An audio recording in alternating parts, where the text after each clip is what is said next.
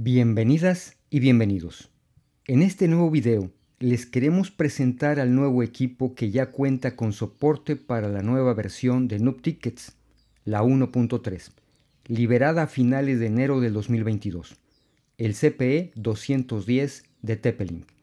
En el video veremos las características del equipo, las mejoras más importantes incluidas del nuevo Noob Tickets y finalmente realizaremos una prueba comparativa de su alcance en distancia contra la versión anterior de nuestro sistema.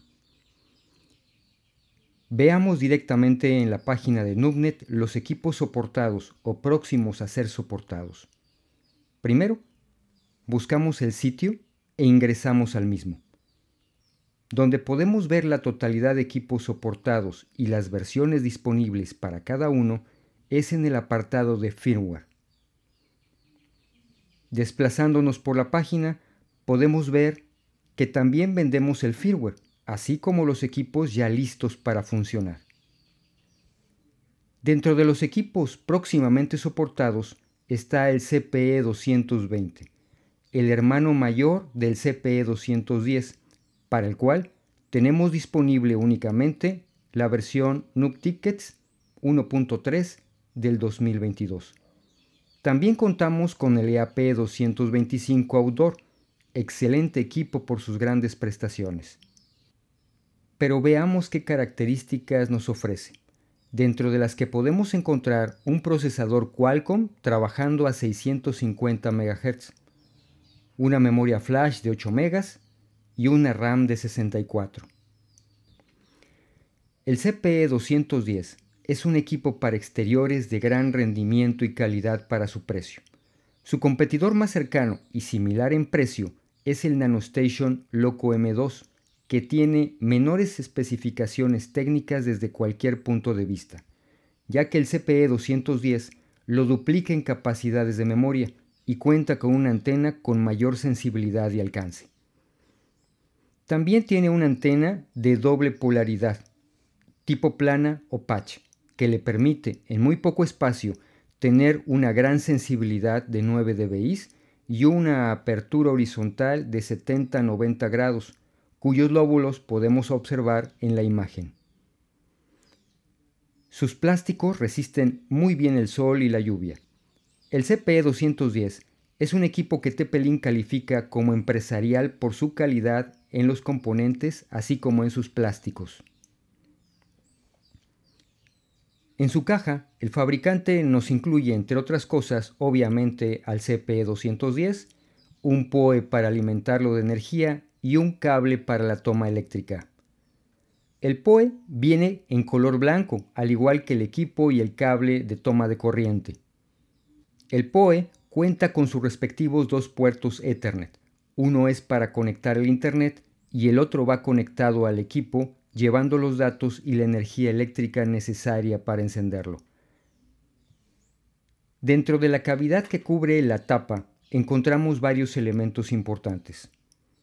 Un pequeño orificio, dentro del cual se encuentra el botón de reset, el puerto Ethernet de tipo PoE y un tornillo para conectar el cable de tierra que nos ayuda a proteger el equipo de descargas eléctricas. También vemos las etiquetas con el número de serie y la MAC address, Ambas son únicas para cada equipo. La MAC address es importante, ya que parte de ella la usamos para ingresar a la administración del Noob Tickets. La tapa protege al equipo para que no entre basura, polvo o agua durante la lluvia o viento, por lo que debemos mantenerla siempre en su lugar. Como ya hemos mencionado, la versión 1.3 de Noob Tickets trae algunas mejoras respecto a la anterior. Una de ellas que ha interesado mucho a nuestros amigos latinoamericanos es la eliminación del símbolo de pesos o dólares que antes tenía, evitando así confusiones respecto a la moneda o forma de pago, lo que permite que ahora el sistema Noob Tickets pueda ser usado en cualquier país sin importar su moneda o el símbolo usado para representarla. Otra de las mejoras es que se incrementó el número de canales que pueden usarse y así opere el equipo, lo que ayuda a evitar las interferencias de otros Wi-Fi cercanos, ya que ahora podemos seleccionar el canal con menor interferencia y así mejorar la estabilidad y alcance de la señal. Como mencionamos con anterioridad, hemos eliminado las referencias a un tipo de moneda en específico de todo el sistema, evitando así confusiones sobre el tipo de moneda de pago. Vamos a imprimir algunas de las fichas o vouchers que ya hemos creado y de esa forma podemos ver cómo lucen ahora sin hacer referencia a ningún tipo de moneda. Recordando que el logo de Noob Tickets es personalizable y fácilmente se puede cambiar por otro correspondiente a su negocio. Para evaluar la mejora del alcance y potencia de la nueva versión, vamos a hacer una comparación contra la anterior. Para ello, vamos a montar los equipos CPE210 a una distancia de 20 metros de la computadora portátil que usaremos para las pruebas. Para la primera evaluación, montaremos el equipo que tiene la versión anterior y realizaremos las mediciones. Posteriormente lo quitaremos y pondremos otro equipo con la nueva versión de Noob Tickets exactamente en el mismo lugar que la anterior. De esa forma podemos garantizar que ambos equipos competirán en las mismas condiciones. Antes de iniciar, vale la pena aclarar que las mediciones las realizamos con la tarjeta y antena de una PC portátil que mantendremos en el mismo lugar durante todas las pruebas. Para realizar la medición de la intensidad de la señal, usaremos el programa Lean SSID, descargable de manera gratuita y que funciona perfectamente con varios sabores de Linux.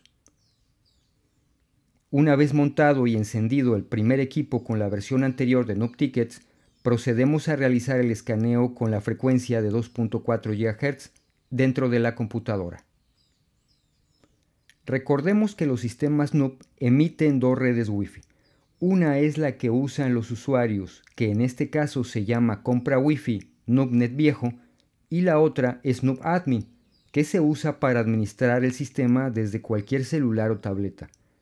Ambas redes se irradian en el mismo canal, pero el programa LeanSSID le da prioridad a la red que tiene contraseña, es decir, la de nombre NoobNetAdmin, por lo que será la que tomemos de referencia en todas las mediciones. Las variaciones en las lecturas se deben al ruido electromagnético ambiental, así como a la operación tanto del CPE 210 como de la computadora portátil que estamos usando para las mediciones. Y en estos tiempos, en los que hemos contaminado tristemente todo, se ha vuelto algo normal. Como podemos observar, la mejor lectura fue de 52 dBm. Recordemos que en el caso de los dBm, los valores denotan una mayor intensidad de la señal si el número es menor o más cercano a cero. En otras palabras, el menos 50 es mejor que el menos 60.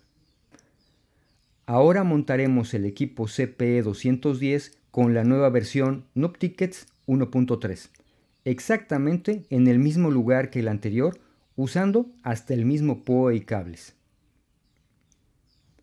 Una vez montado y encendido, iniciamos el escaneo nuevamente para ver ahora los resultados, tomando nuevamente la misma red NoobAdmin como referencia. Como podemos observar, la mejor lectura fue de menos 40 dBm, lo que supone una mejora sustancial respecto a los menos 52 dBm de la versión anterior. Finalmente, no se olviden de poner a trabajar su Internet profesionalizando su Wi-Fi. Claro, con los equipos y sistemas NOP. Hasta el próximo video.